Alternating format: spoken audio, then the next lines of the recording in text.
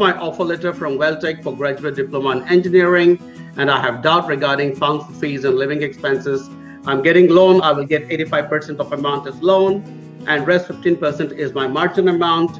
Uh, I want to know that my margin amount will be around 3 lakhs INR. The funds will not be six months old. Then how can I apply for visa July intake? My expertise today in this company uh, as the senior person, as a senior licensed advisor is I, I do not really deal with actual uh, uh, student visa applications any longer. I do deal with you know the higher end of visas like I deal with resident visa cases. I deal with entrepreneur visas.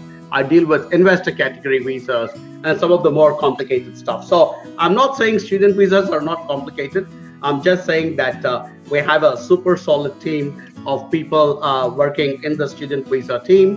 And like I told you, it's actually headed by an ex-immigration officer who was part of the uh, student processing team of Immigration New Zealand. So I don't think there'll be a better people to answer your questions about uh, student visas than them. So kindly continue to speak to your uh, uh, case officer, Vivek, and at any time you think that, hey, look, I want a, an answer from a senior person, just request your case officer saying, can I speak to, you know, the team leader or to the manager, and you will definitely be connected.